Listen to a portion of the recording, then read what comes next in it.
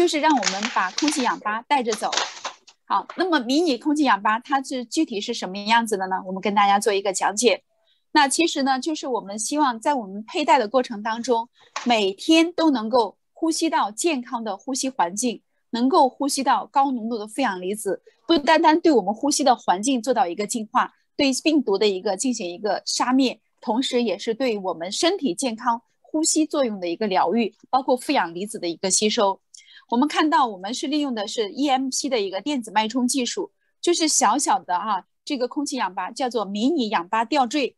啊，就是希望能够带给我们的就是超高浓度的一个这样的一个负氧离子，它的工艺也是非常独特的哈。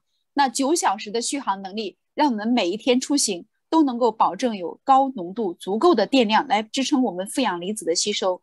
一共有四种颜色，一个是白色、红色，还有玫瑰金以及幻彩紫，这四种颜色能够满足我们的一个不同的一个佩戴的要求啊，不管是男女老幼。不管是穿戴任何的一个服饰搭配，你都可以进行一个有效的选择。那当然了，我们采取的还是它的外观也非常的精致啊，这个水滴状的这样的材质也非常的时尚大气，而且利用的链条呢也是用的是不锈钢三零四不锈钢的实用级别的这种卡扣啊，也是非常的高端的。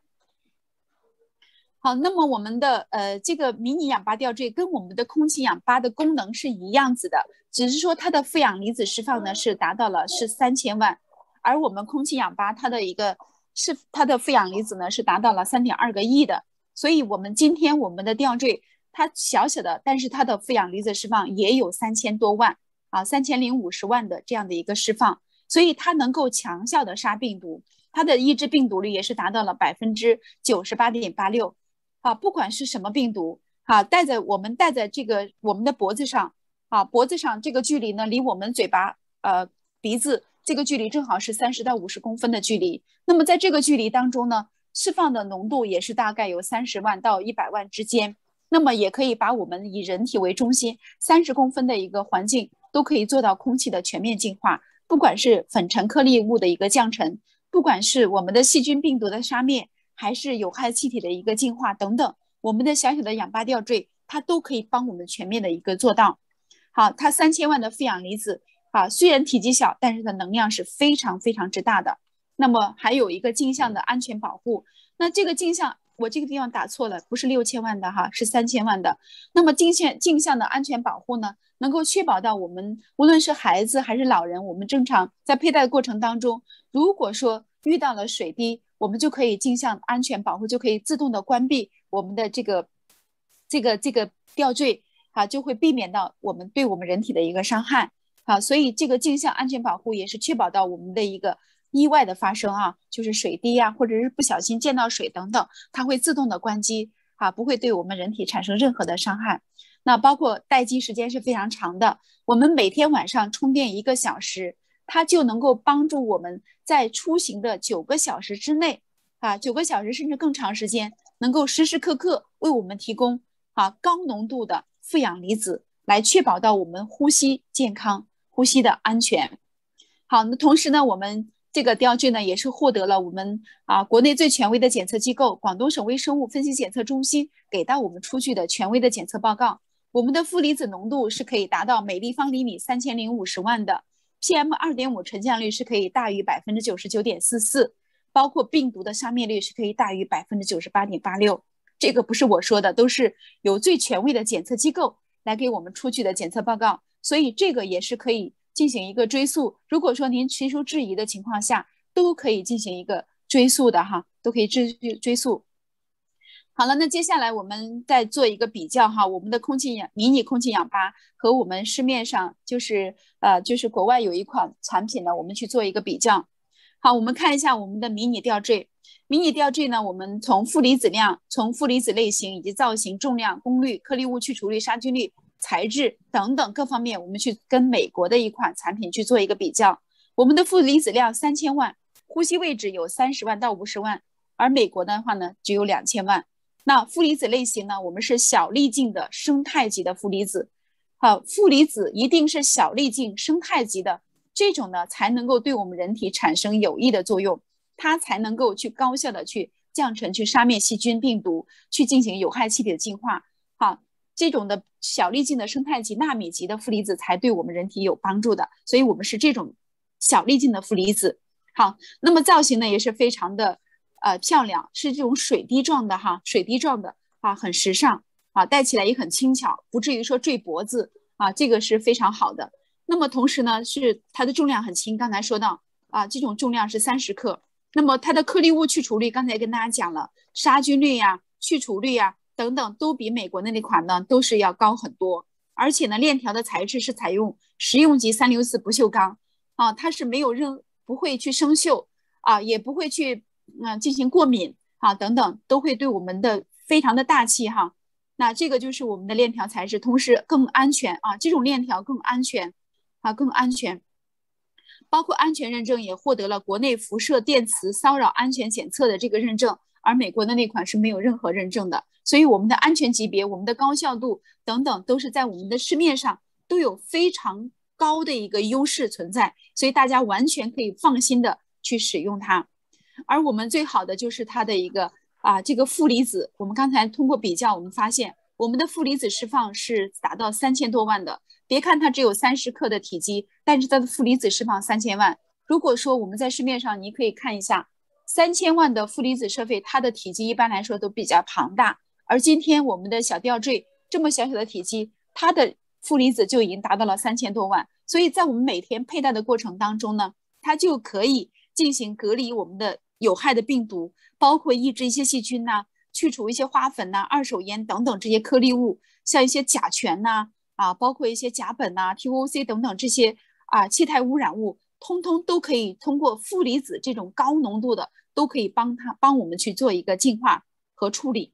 好，这个就是高浓度负离子带给我们的核心，带给我们的一个核心的一个功能。好，那么接下来我们看一下核心功能是什么。首先第一个是外观啊，我们看到我们的外观也是非常的漂亮，是水滴造型，精致。好，第二个呢就是采用这个充电口，非常简单的。啊，就是跟华为接口是一样，Type C 的这种的充电接口，简单易操作。好，那么第三个呢，就是三千万高浓度纳米级小粒径的负氧离子，对于杀灭病毒更高效。啊，对于我们的健康疗愈也更加显著。这就是基于它的高浓度的负氧离子来来说的哈。那么第四个呢，就是充电只需要一个小时，你不需要充三个小时、两个小时，只需要一个小时，但是的待机时长可以达到九个小时，满足我们一天出行的需要。那第五个呢，就是杀灭冠状病毒啊，可以杀灭冠状病毒。虽然没有冠状病毒检测报告，因为这个冠状病毒检测报告做不了，因为我们在外面佩戴它，在外面，因为有空气流动，有风传播，所以你说做检测做不到。但是它的三千多万的负氧离子释放，它是可以进行一个杀灭一些细菌，包括冠状病毒是可以杀灭的。那第六个呢，就是它的链条的材质，就是采用的是食用级三零四不锈钢。啊，它通过我们的这个这个佩戴过程当中，一方面显示一个它的一个大气，它的材质，一方面也不会生锈，第二个也不会过敏。我们佩戴上去完全不用担心汗液的这个侵湿啊等等，会采用会会发生一些过敏的现象都不会的，因为它是这个实用级别的啊，实用级别的，这个就是我们的吊坠的一个非常重要的一个核心。啊，我们刚才讲了我们的空气氧吧和我们的迷你吊坠，那这两款设备呢，都是我们的啊木林森针对于呼吸生态疗系列的一个非常重磅的两款产品，都是基于在高浓度负离子的一个技术基础之上研发的两款新产品，两款这个产品啊，这款这两款产品呢，都是在不同的空间去帮助我们进行一个空气的净化。空气的健康以及我们身体健康的疗愈啊，空气氧吧是针对我们居家的一个健康的一个作用的一个这样的一个帮助。那么我们的吊具呢，就可以帮助我们在出行的过程当中去做到一个防护，特别是在我们现在啊，针对于马来西亚目前现在疫情非常严峻的一个时刻，我们不能够保证其他人怎么样，但是我们是不是能够保证在我们每天佩戴这个吊坠的过程当中，我能够去隔离病毒？啊，我能够去杀灭病毒，我能够通过佩戴这个过程，能够去把我面前的空气做到一个净化和干净，同时杀灭一些啊，这个净化一些有害的气体，同时还能够补充我缺失的负氧离子，让我们的身体做到一个疗愈。那么我们的吊坠呢，也希望未来能够帮助我们海外的海外的朋友，能够在我们的这个呃现在的一个空气的一个这个净化的过程当中，以及疫情的防护这样的一个现实情况，能够做到它的一个重要的一个发挥它的一个作用。好，那么其实我们现在的一个新冠，包括刚才这个讲解的一些产品来讲，我们说整个世界它是一体化的，不是一个国家的事情。所以，面对这场疫情，我们每个人都有责任、有义务去做好自己的一个防护。一方面是对自己的一个呃安全的保护，另外也是给到我们的朋友和家人的一份安心。所以，我们的吊坠呢，能够在未来，希望能够帮助到我们所有人，还有我们的空气氧吧。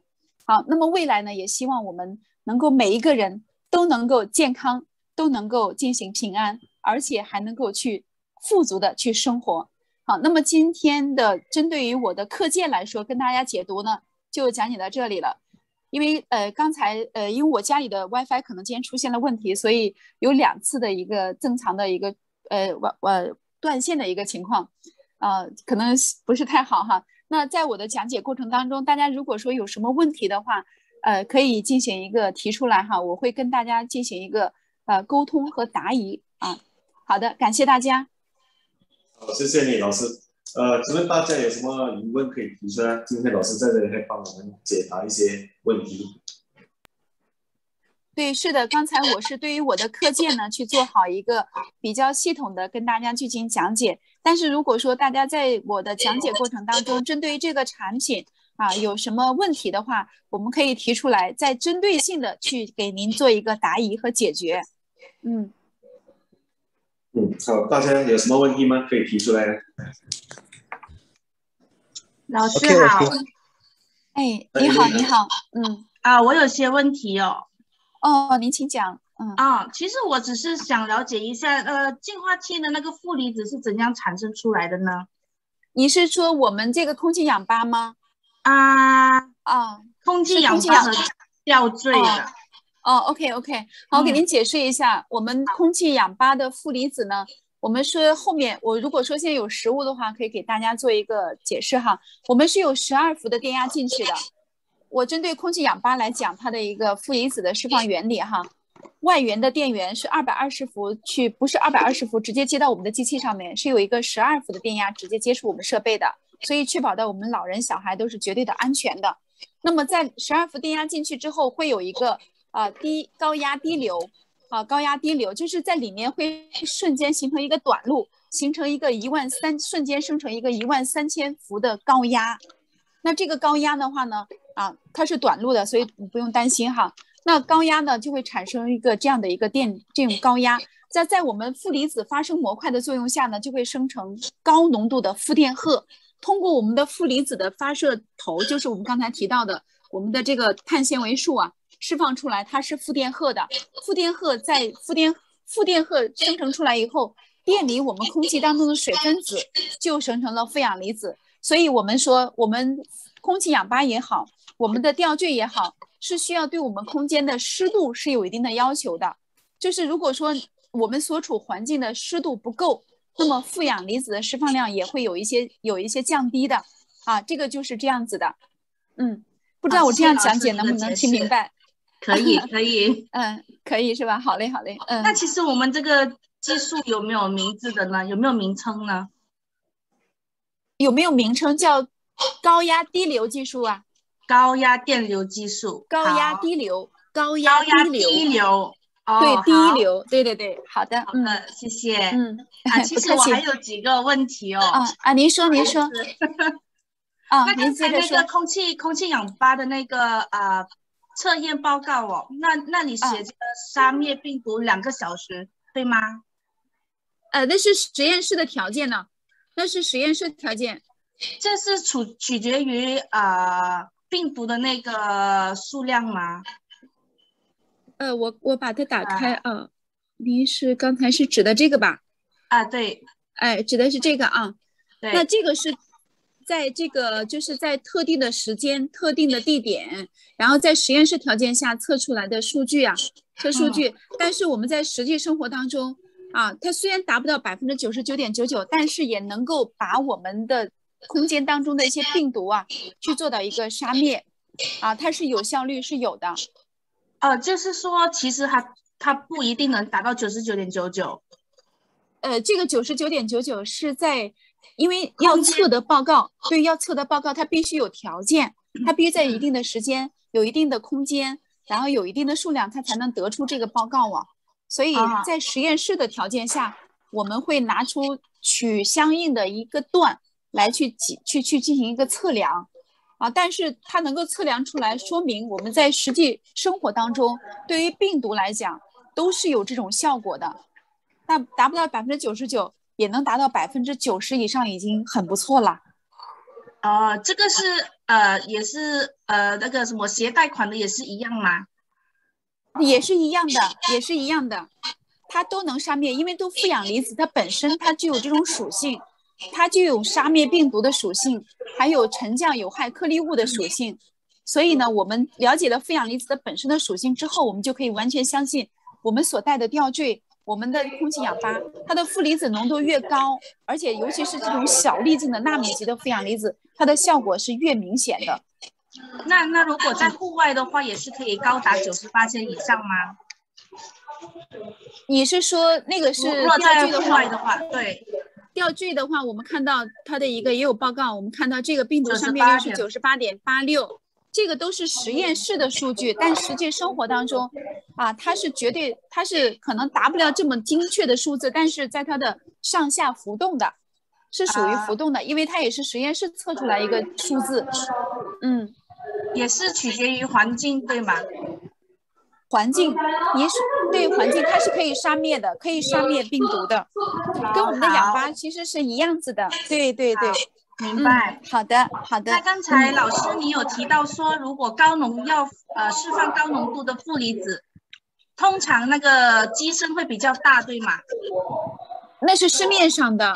啊，市面上市面上的，我就给您打了一个比方啊，比如说您看一下我们的吊坠，这么小的一个才三十克的吊坠，但是它的负离子已经达到了三千多万。如果说像市面上呃些负离子设备的话，如果达到三千万，您可以看一下，可能都是很庞大的一个设备，就说明我们的技术是非常的高科技的技术。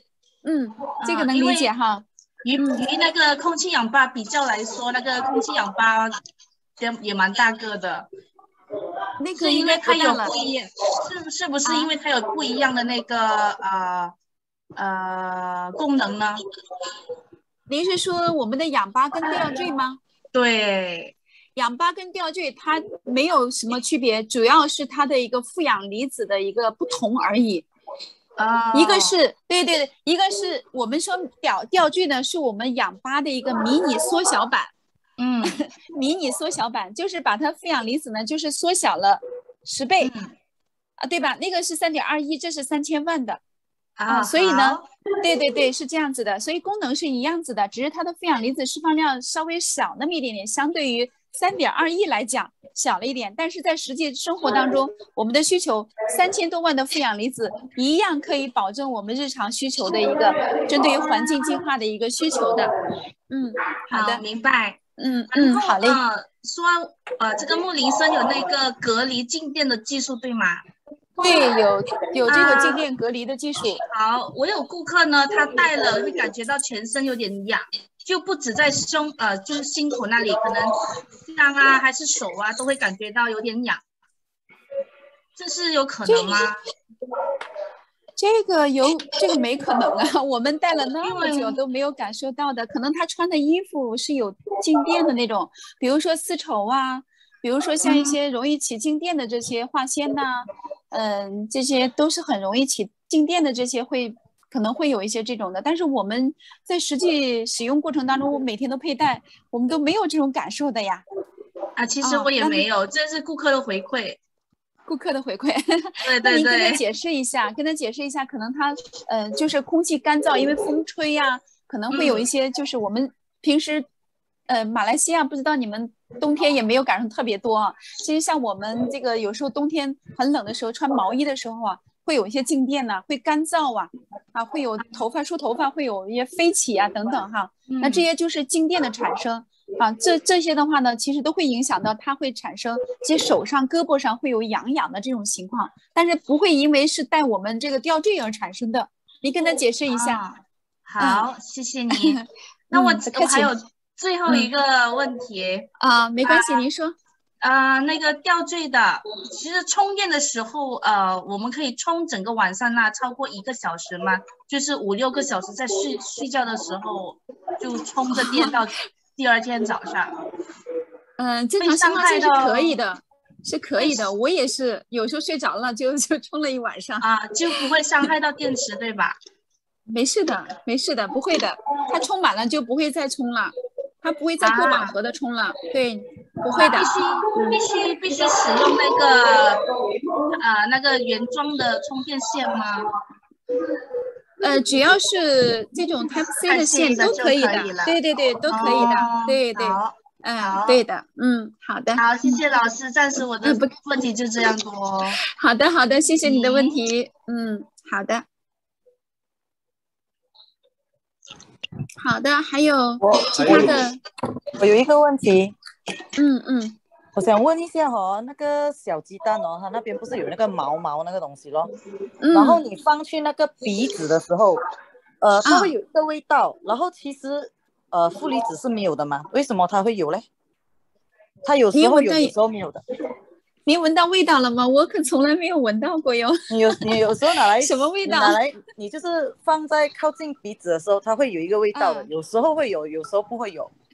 是吧？那我们从来没有闻到过，没有，也没有客人去反馈给我们。您是第一个反馈说有味道的哦。我的我的我的我的朋友全部都有，是吧？就是有用的，对，有的是有的，我们天天都带着呢，我们也没有任何一个客人向我们反映这个。会可能是可能是那个环境肮脏才会有那个味道。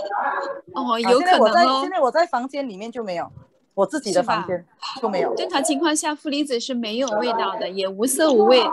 嗯，我们可以放在鼻尖去感受一下它的一个负离子的那个电流啊，慢慢的有点电流，但是味道我们从来是没有闻到过的。嗯，您这个问题我我要记录下来，可能是根据当时环境的问问问题有关的，可能是应该是没味道的。一般我在外面的时候就会有这个这个这个问题，然后我就不懂，我还去跟人家讲，哎，这个就是那个负离子的味道。可是结果 后来我才懂，原来负离子是没有味道的。嗯，我们有客人还提出了一个意见，说负离子啊，要不然你们厂家给加点青草的味道吧。我们去到森林里面看到那些闻到那些味道都是青青的那种味道。我们说如果加的话，那就是化工了，人工合成了，那就不安全了。所以正常情况下，我们该有的东西就还原自然界当中应该有的东西就可以了，不会去添加任何的。嗯。老师，嗯，你好，呃，那个手册呢，其实有写，呃，是有点味道的，有味道的是吧？手册，手册有有有注明，是否是臭氧的味道呢？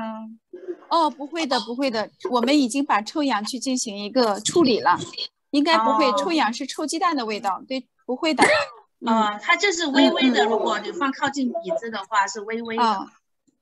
那那可能是负离子电流啊，就是因为它释放出来呀，释放出来是电流，电流在电解是，在电离我们空气当中水分子，才形成了负氧离子的。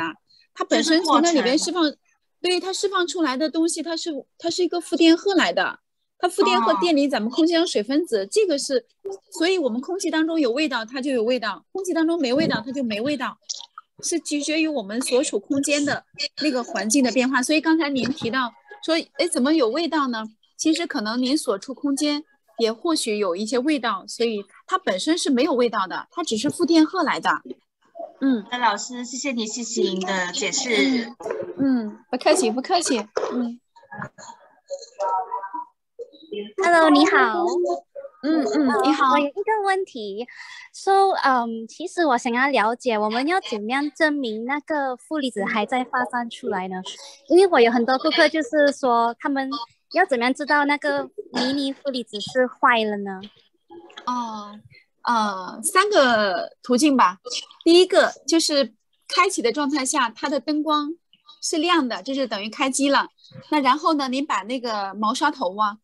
靠近我们的鼻翼，就是鼻尖尖比较敏感的地方嘛，然后感受一下它有没有这个负离子的释放的感觉，这是第一个啊。第二个呢，就是我们拿一个烟罐呢去测试一下它的消烟情况如何。那第三个呢，就是拿负离子的检测仪来测试一下，对准毛刷头，看一下它它的一个负离子数值有没有变化，有没有增加，有有有没有变化的。我们通过三种途径来检测一下。嗯，好的，谢谢。嗯嗯，不客气。好，嗯。好，那嗯，还有什么疑问吗？请问小孩子和 baby 可以带着吗？嗯，小孩子，呃，小 baby 先不带吧。小 baby 两，因为他会他会舔它嘛，可能他手不自主的就会抓它舔它呀，舔负离子啊，是吧？这个可能对他来说也也不干净，不健康。呃，两岁以上的可能他有自主意识了，你妈妈教育他说，哎，不许不许摸他，不许舔他呀。啊，这种情况，哎，他可能。会知道一些，我们尽量避免让孩子嘴巴去舔它或者手摸到它，嗯，会有细菌呐，对吧？嗯，我们尽量在家里边，因为像两岁的小孩，两岁的小 BB，我们尽量放个空气氧吧在家里会更好一点。如果出行的话呢？对对对，好，不知道这样的回答您满意吗？好的，意思说它是安全的，但是是最好是不要给小孩子去。对对对，是的，它是绝对的安全，但是会对他来说产生一个这个卫生的一个隐患啊。对，嗯嗯。然后我想要了解，如果我换掉那个嗯链可以吗？你换什么链子啊？想换什么链子？可以换什么链子了？换金的、银的都可以，但是不能换布链子和绳子。嗯，你不能换那些就是呃绝缘性强的，就比如说绳子类的啊，绳子类的，你要换一些金链子或者是银链子这种的链子可以的。嗯，OK，可以啊，就是这个意思啊。好的，嗯。嗯，那好，还有什么疑问吗？